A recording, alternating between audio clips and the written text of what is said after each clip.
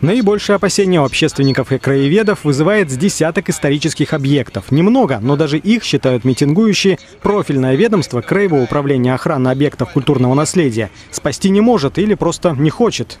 Стандартные отписки, работа ведется, э, все хорошо, хотя вот сзади нас находится пример, который говорит о том, что работа не сильно-то и ведется. В социальных сетях поддержку акции выразили многие, но пришло всего около 20 человек, возможно потому, что в разгаре был рабочий день. Зато, говорят организаторы, не оказалось случайных людей. Подключились даже студенты-археологи. Они уверены, проблема глубже, чем кажется на первый взгляд. Сейчас также идет э, не только разрушение памятников э, истории архитектурных зданий, а также археологических памятников.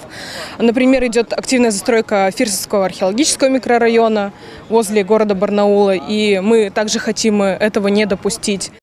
То, что происходит с памятниками, уверены многие митингующие, никак не вяжется и с тем, что в историческом центре третий год создается туристско-рекреационный кластер. Казалось бы, вот здесь-то самое время подключить наше культурное наследие, привести в порядок наши объекты, заработать на них денег, на туристах. Но это не делается.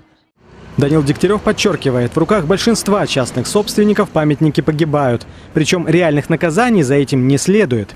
Общественники убеждены, нужно срочно спасать исторический центр Барнаула. Для этого они сегодня приняли резолюцию о том, чтобы активизировать работу Алтая культуры и сделать строже наказание для недобросовестных собственников исторических зданий.